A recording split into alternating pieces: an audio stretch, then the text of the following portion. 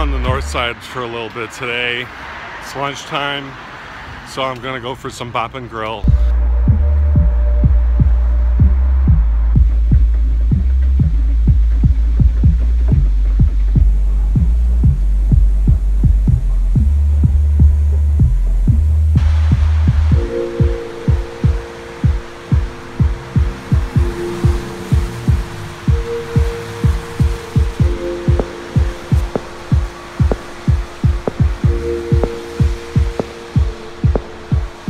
Pretty pretty uneventful Saturday. Um, I was really glad to take a relaxing day because you know this past week there's just a lot going on with going back to work and not feeling well and everything.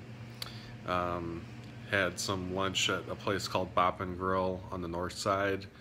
They have um, kind of a fusion between like a burger joint and um, Korean style food. So I had the kimchi burger, which was really good.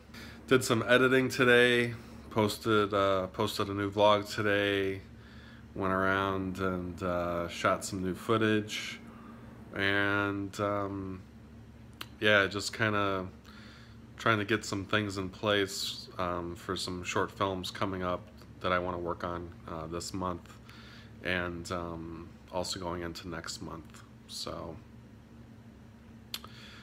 and also trying to clear the decks, trying to finish up, trying to finish up um, post production on some films that I've uh, worked on last year. So overall, pretty relaxing Saturday.